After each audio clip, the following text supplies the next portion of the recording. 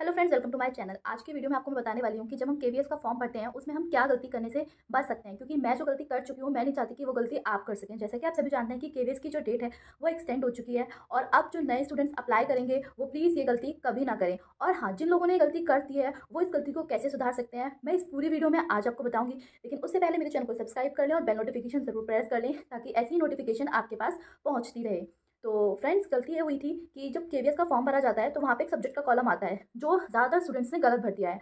वहाँ पर होना क्या चाहिए? सबसे पहले तो आपको चूज़ करना है कि आपने क्या किया हुआ है B Ed D El Ed जो भी आपने चूज़ की हुई है। उसके बाद आता है परसेंटेज का कॉलम कौन सी यूनिवर्सिटी से किया वो सारी डिटेल्स आपको भर देनी है। उसके बाद जब सब्जेक्ट का कॉलम आएगा ना तो वहाँ पर सपोज़ कीजिए कि आपने बी एड की हुई है। तो आपको क्या करना है, वहाँ पर बी एड के सब्जेक्ट्स नहीं डालने वैसे भी बी एड के इतने सारे सब्जेक्ट्स होते हैं, हम उनको नहीं डाल सकते हैं, ठीक है? वहाँ पर हमें क्या डालना है, जो हमारे पास ग्रेजुएशन में था। सपोज़ मेरे पास बी कॉम ऑनर्स है तो मैं वहाँ पर सिर्फ़ बी कॉम ऑनर्स लिखूँगी, क्योंकि ग्रेजुएशन के अंदर भी बहुत ज़्यादा सब्जेक्ट्स होते हैं। इन द सेंस आपको वहाँ पर क्या लिखना है कि जो आपकी स्ट्रीम थी। सिमिलरली अगर आपने डी एल एड किया हो तो डी एल एड कब होती है? आफ्टर ट्वेल्थ तो आप वहाँ पर जो ट्वेल्थ में जो सब्जेक्ट्स थे, वो सारे सब्जेक्ट्स तो आपके आ जाएँगे, क्योंकि पाँच से छः सब्जेक्ट्स होते हैं हमारे पास ट्वेल्थ में तो वहाँ वो वहाँ पर हमें फिल कर देने हैं, ठीक है?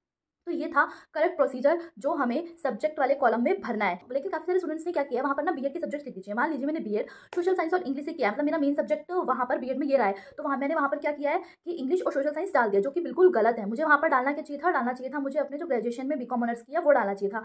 लेकिन ठीक है, गलती हो गई अब इस गलती को कैसे सुधारा जा सकता है, मैं आपको बताती हूँ। देखिए कलेक्शन फॉर्म अगर आता भी है तो उसमें कोई गारंटी नहीं कि वहाँ पर आप सब्जेक्ट वाले कॉलम को हम सही कर सकते हैं। हमारे पास जो लास्ट ऑप्शन यही है कि जब हमारा डॉक्यूमेंट वेरिफिकेशन होगा वहाँ पर पूछा जाएगा कि आपने सब्जेक्ट में यहाँ पर ये क्यों डाल रखा है तो हम सीधा सीधा सकते हैं कि क्योंकि केवीएस की वेबसाइट पे जब हम फॉर्म फिल कर रहे थे, वहाँ पर कहीं भी एक्सप्लेन नहीं किया गया था कि यहाँ पर कौन से सब्जेक्ट्स डालने हैं।